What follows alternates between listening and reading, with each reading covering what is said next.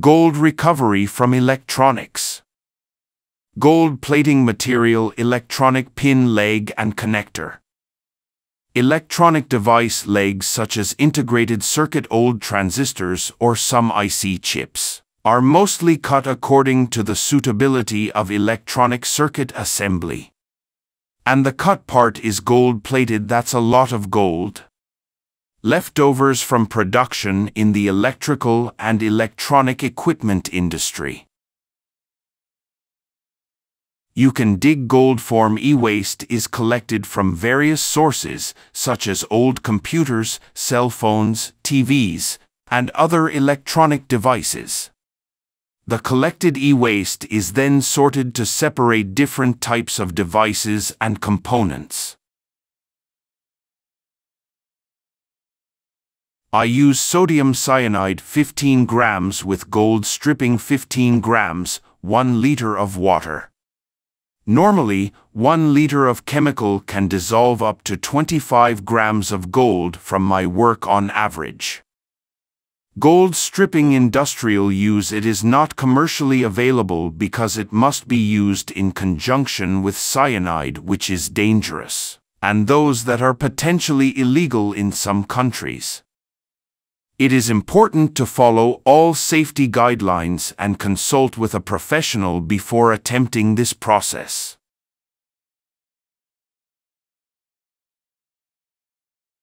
Bring the mixed chemicals put in the gold-plated material that we have prepared in the beaker. It takes about 15 to 20 minutes to dissolve the gold plating.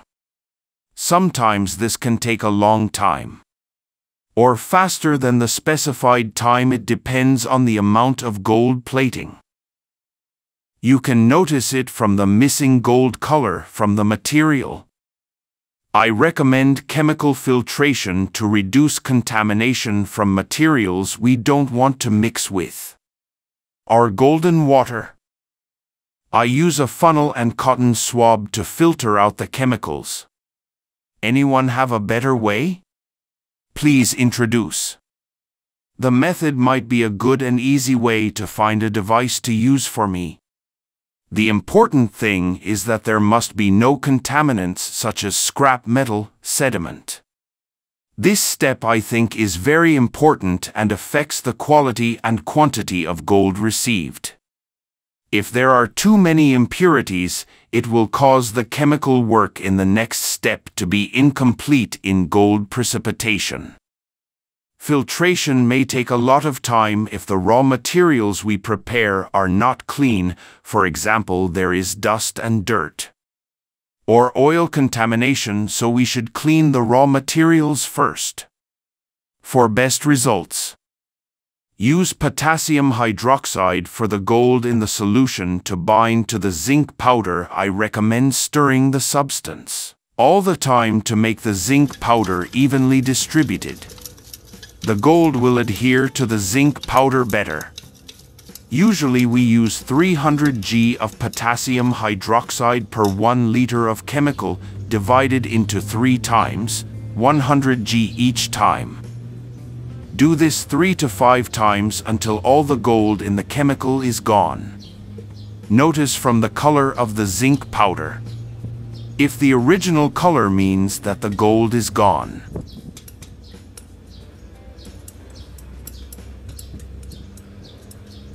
Working with chemicals chemical protective clothing, gas masks and appropriate premises must be worn.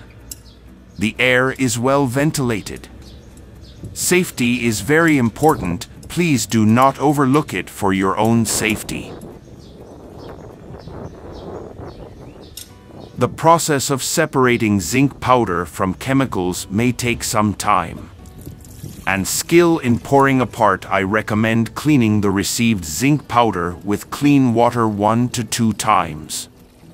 Please be careful of zinc powder residue with chemicals and water as it is the gold attached to the zinc powder. How to separate zinc powder from gold We will use nitric acid 68% mixed with water. 2 to 1. The nitric acid dissolves the zinc powder, leaving only the powder brown dot that's gold. Add nitric acid to the zinc powder in small amounts, slowly. My technique is to add a small amount of water to the zinc powder beaker to reduce overly aggressive chemical reactions. This process contains toxic gases produced by a chemical reaction. Take precautions to avoid exposure by the principal routes, that is, contact with skin and eyes, inhalation, and ingestion. And wearing protective clothing against chemicals and toxic gases. It can take 30 to 60 minutes for the zinc powder to completely remove.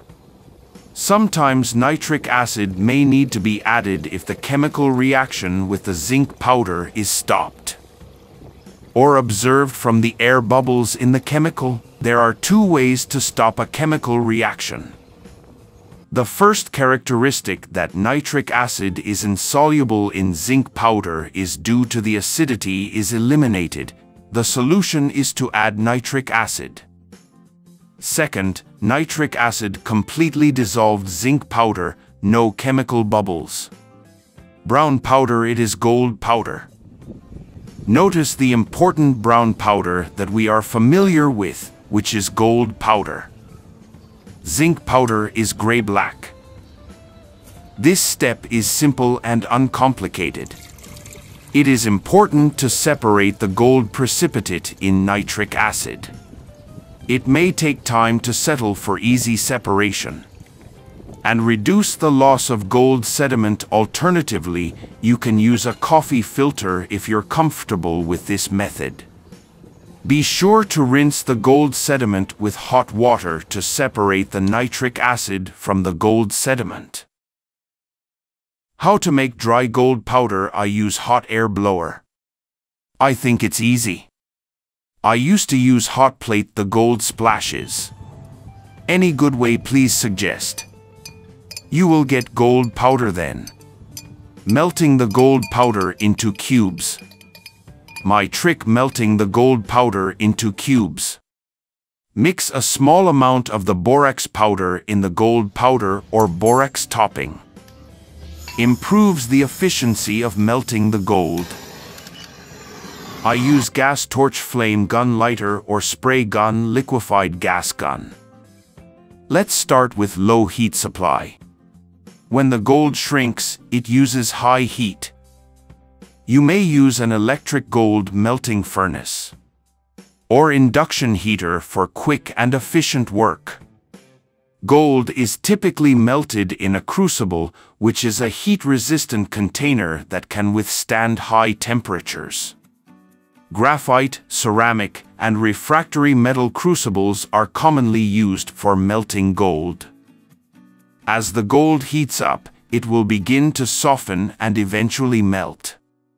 Gold transitions from a solid to a liquid state at around 1064 degrees Celsius, 1947 degrees Fahrenheit. Be cautious, as the molten gold and crucible will remain extremely hot for a while. Finish with a little borax topping.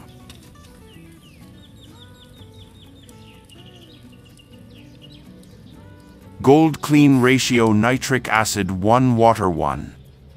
You will receive 18 carats gold if you want 24 carats gold.